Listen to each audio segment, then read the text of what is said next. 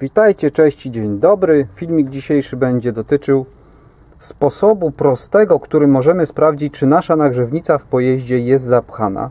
Co prawda ten filmik kiedyś się już ukazał na podstawie ogrzewania, ale ten film dzisiejszy powiążemy z filmem, w którym poruszyłem kwestię zwiększonego zadymienia w silniku diesla, gdy nasza nagrzewnica jest niedrożna i zapchana. Na początek chcę podziękować e, do poprzedniego filmu, który się ukazał, za bardzo pozytywne komentarze wielu osób. No słuchajcie, zdarzyły się również komentarze bardzo niemiłe, nieprzyjemne, które no niestety nie mogły zostać upublicznione ze względu na język użyty w tych kurcze komentarzach. No i dobra, więc poruszamy kwestie takie. Jeśli chodzi o tamten film.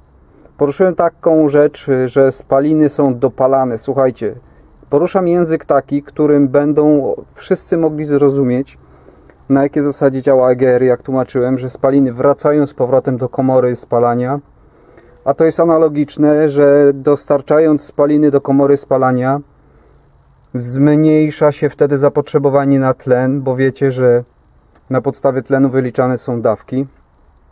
Więc jeżeli EGR zostaje uchylony i spaliny zostają z powrotem wpuszczone do komory ssącej, no to jednocześnie wiadomo, że one przelatują ten proces spalania, mimo że w nich już nie ma tlenu, ale dzięki temu, że te spaliny wracają z powrotem, zmniejsza się ilość tlenu zasysanego, jednocześnie obliczana masa przez przepływamierz powietrza. To tak pokrótce, dlatego, dlatego ja poruszam kwestie takie, żeby każdy mógł to zrozumieć, choć zdarzyły się i rzeczy takie, że ktoś tam na przykład rozpisuje, że chłodniczka zupełnie nie ma wpływu y, na temperaturę spalin i tak dalej. No więc słuchajcie, no takie bzdury, bzdety, no ale słuchajcie, no każdy niestety uczy się całe życie, a jeżeli ktoś chce się postawić na moim miejscu, to zapraszam, niech się przygotuje i będziemy nagrywali. Więc dobra, nie będę trajkotał i nawijał niepotrzebnie z bzdetów zbędnych. Przechodzimy do setna sprawy. Jeżeli mamy problem z nagrzewnicą, to, czyli filmem może nie filmem, tylko to, co poruszyliśmy na poprzednim filmie, kopcenie diesla przez nagrzewnicę, która znajduje się tam, na przykład tutaj jej co prawda nie widać, ale te węże lecą sobie tam do niej, to w ten czas co następuje? Może nie co następuje. Jeżeli temperatura spalin jest przekroczona, to w ten czas y, nasz EGR, jak zostaje uchylony, ma dostarczyć mniejszą ilość tlenu, czyli spalić te spaliny, które może nie spalić, właśnie użyję innego słowa, żeby krytycy nie wyłapywali tego, co nie powinni. Nie? W każdym bądź razie spaliny wracają z powrotem do komory, czyli EGR nasz zostaje otwarty, klapy wirowe są ustawiane w sposób taki, by dostarczać jak najmniej tlenu do komory ssącej. I w ten sposób następuje y, w ten sposób następuje zmniejszenie temperatury spalin. Ale rzecz jest jaka? Problemem bardzo częstym jest problem taki, jeżeli ta nagrzewnica jest zapchana, w jaki sposób ją sprawdzić? No właśnie, odcinać węże, sprawdzać, zaślepiać, potem jeździć tym samochodem i, i testować. Więc jest bardzo prosty sposób, który kiedyś już poruszyłem odnośnie ogrzewania w samochodzie, w jaki sposób można to sprawdzić. I tą kwestię poruszymy dzisiaj. W każdym bądź razie zrobimy krótki teścik, tylko jest, rzecz jest jaka. Żebyśmy do takiego testu mogli podejść, musimy mieć silnik gorący i zaopatrzyć się w termometr. Także pokrótce przechodzimy na pokład pojazdu i robimy teścik. Zapraszam. I witam ponownie, spotykamy się już na pokładzie auta.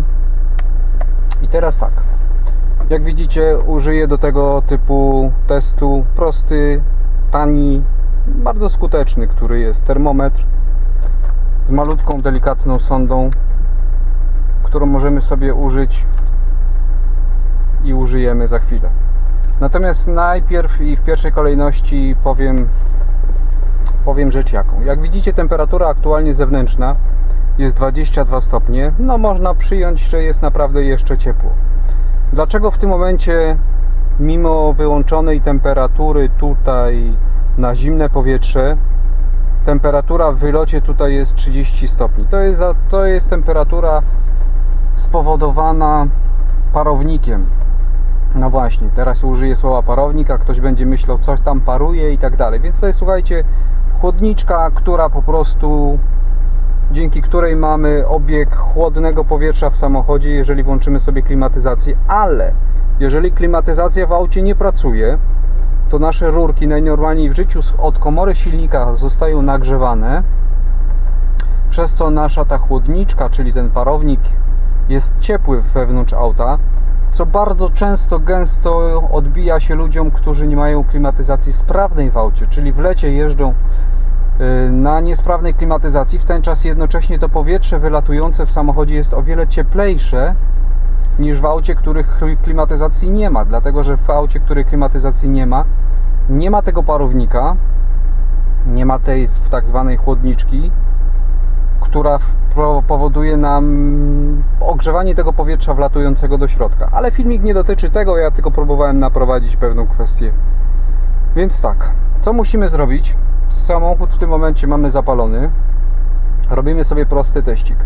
Y, jeżeli macie układ nie z klimatyzacją, może nie z klimatyzacją, tylko nie z manualnymi pokrętłami, tylko macie klimatronik, to do tego typu musicie użyć temperatury maksymalnej, czyli w tym momencie, jeżeli, znaczy, może inaczej, nim podejdziemy do tego testu, mam w tym momencie temperaturę wylatującego powietrza 30,6. Włożę sobie do drugiej kratki, żebyśmy mieli porównanie. Jak widzicie, ta temperatura w tych obu kratkach jest taka sama. No i dobra, co w tym momencie ja zrobię?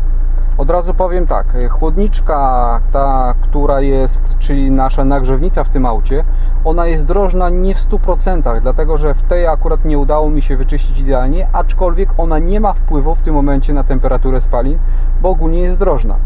Więc jeżeli włożymy sobie w kratkę, od razu powiem, mówię tak, nawiew powietrza bierzemy na siebie, jeżeli robimy test w kratkach tych. Dlaczego nie robimy testu w kratkach zewnętrznych auta?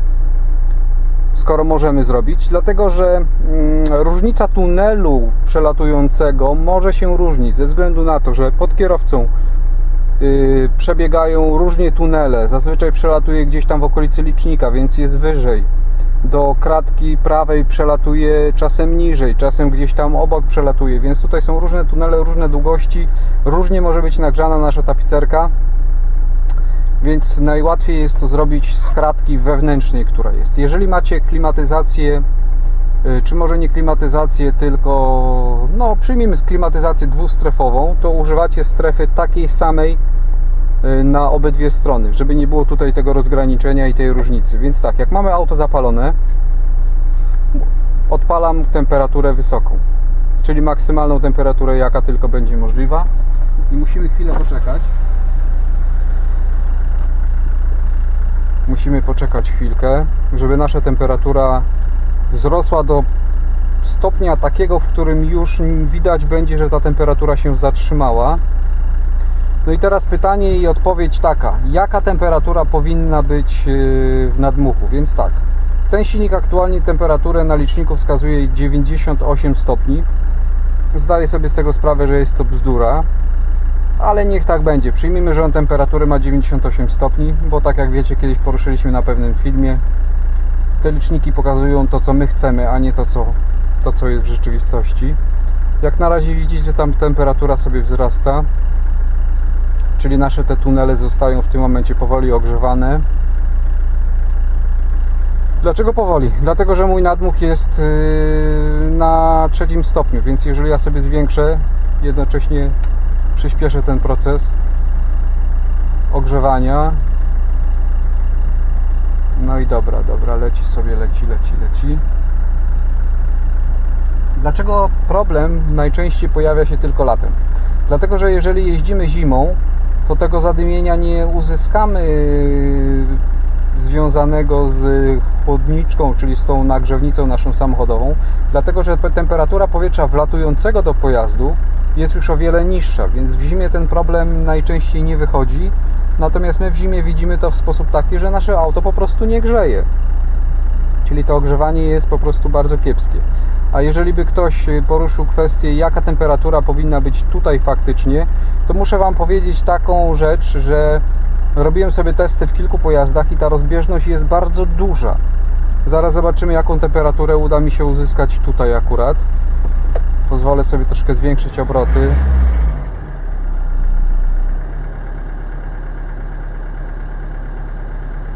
Żeby ten obiekt troszeczkę był większy. Natomiast co znaczy rozbieżność duża? Spotkałem auto takie, w którym temperatura była 80 chyba 4 stopnie powietrza wylatującego, czyli ta nagrzewnica była taka naprawdę super bomba, można powiedzieć. Spotkałem auto, w którym temperatura była 60 parę stopni i ona również działała prawidłowo. Wiadomo, że nikt przy tej temperaturze nie jeździ, to jest tylko temperatura powietrza wylatującego. No i dobra, w tym momencie jakbyśmy się tak uczepili, temperatura powoli zaczyna się zawężać, czyli powoli zaczyna nie wzrastać do góry, aczkolwiek jeszcze wzrasta. No co prawda silnik chwilkę powstał, postał sobie na parkingu, więc tutaj ta temperatura musi się niestety wyrównać. Ale to nie jest tak, że ona będzie rosła wieczność, bo sami się przekonacie w pewnym momencie, że ta temperatura zacznie się zatrzymywać na jakimś tam etapie i pokażę Wam właśnie tą różnicę nagrzewnicy, która już zaczyna być zapychana, ale jest jeszcze dobra. Dlaczego robimy testy w dwóch kratkach? Otóż wygląda sytuacja w ten sposób. Jeżeli nie oglądaliście kiedyś mojego filmu, na którym poruszyłem zapchaną nagrzewnicę i brak ogrzewania w aucie, to więc wytłumaczę Wam na podstawie takiej. Tam na dole jest nasza nagrzewnica. Ta nagrzewnica jest tak, jak ja ją rysuję, jest zamontowana na dole tam. Powietrze wylatujące, ono wylatuje zarówno na prawą, jak i na lewą stronę. Ale tym przypadku tutaj po lewej stronie jest wlot tej nagrzewnicy, czyli od lewej strony tutaj w tym pojeździe wlatuje gorąca woda, przelatuje przez całą tą nagrzewnicę i jednocześnie ogrzewa powietrze, które przelatuje przez, przez tą nagrzewnicę. Ale jeżeli nagrzewnica robi się niedrożna, przyjmijmy, że to jest nasza nagrzewnica i ona jest do połowy zapchana, to ta część tutaj, która jest po lewej stronie, od strony wlotu i wylotu, ona będzie bardziej ogrzana niż ta strona, która jest yy, bez kanału wlotowego i wylotowego, czyli ta, ta strona pusta przelotowa. Ona będzie mniej dogrzana, co będzie powodowało bardzo dużą różnicę tej temperatury między tą częścią a tą częścią. Mimo, że wylot powietrza jest jeden, ale wylatuje na obydwie strony, dzięki temu tą różnicę możemy w taki prosty sposób po prostu dostrzec. I w tym momencie, jakbyśmy zobaczyli, temperatura, przyjmijmy, już się zatrzymała. No to już jest taki skok temperatury, który prawie nie ma wpływu. 65,5, 6 rośnie sobie gdzieś tam jeszcze pojedynczo. Teoretycznie moglibyśmy jeszcze zostawić chwilę, żeby ta temperatura mogła sobie wzrastać, ale myślę, że konieczności nie ma. Mamy 65,8, wyciągam temperatura. Zaraz zobaczymy, jaka będzie w tej kratce. 65,8 była, a tutaj jak widzicie ta temperatura jest 63,6 i zaczyna sobie spadać w dół, co świadczy o tym, że yy, częściowo już ta nagrzewnica jest zapchana, co nie znaczy, że jest zapchana. Ze względu na to, że gdybyśmy mieli w tym momencie pół nagrzewnicy zapchanej, to byśmy mieli tą temperaturę 65 stopni po tej stronie, a po tej stronie byśmy mieli na przykład 30-20 stopni, bo taka temperatura może być, jeżeli ta chłodniczka jest schładzana, bo ona jest schładzana powietrzem wlatującym. Ale tak jak widzicie już na tej podstawie ja mogę sobie stwierdzić, że ta nagrzewnica częściowo ma uszczerbek, ale jest jeszcze w bardzo dobrej kondycji. Także tutaj krytykować nie można, bo wiecie, że ta temperatura zawsze minimalnie może się różnić, ale jeżeli będziecie mieli taką rzecz, że wyciągniecie sobie o kurczę, moja sonda się zacięła, wyszła na sonda. Przyjmiemy sondę, włożę tutaj jest bardzo ciepła. Jeżeli wyciągniemy sobie, czy włożymy sondę po lewej stronie i temperatura nasza mogę już silnik zgasić niepotrzebnie, żeby nie warczał więc ta temperatura tutaj przyjmijmy wylatuje mi 58 stopni, a tutaj będzie wylatywała 20-30, no to już wiemy, że ona będzie po prostu i w zimie niedrożna i będzie powodowała to, że ten obieg będzie się zmniejszał, bo jak wiecie, nagrzewnica ona się nie będzie przetykała czy przepychała, jak to byśmy mogli to nazwać w języku hydraulicznym. Nikt tam żmijki nie wkłada, nie przepycha, tylko będzie się powoli częściowo zapychała, zapychała, zapychała, aż stanie się zupełnie niedrożna. Do jakiego stopnia?